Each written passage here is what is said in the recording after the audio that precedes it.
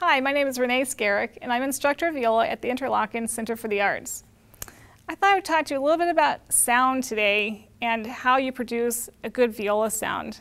The most important thing I, I think is to have the sound in your ear. So if, if you students could get a hold of some master viola recordings um, and listen to them and also go to live performances and hear all the different sounds violists, professional violists produce, it will help get a sound in your ear in which you can imitate. Now it's important also to have a good bow hold. So I, would, I thought I would share with you today how I teach my students to, to improve their bow hold.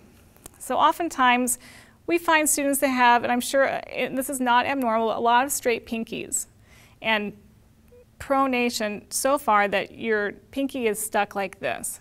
So if you could just take your bow right now and hold your hand out and set your frog cradle in your, in your knuckle fingers and then put all the fingers where they're supposed to be. Pinky on the frog, ring finger covering the circle on your frog, and thumb curved. Mine is very curved, so much that I'm touching the bow here. And then if you can take your, put your viola up and take the bow and place it on the viola and let it really feel like the viola is holding the bow.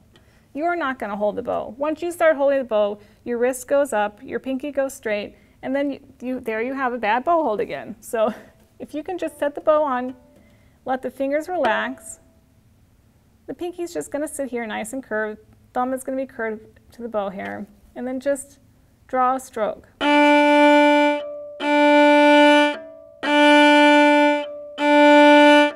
have my students practice this stroke a lot with open strings so that they are able to concentrate on the bow hold and not the left hand and keep it in the same position.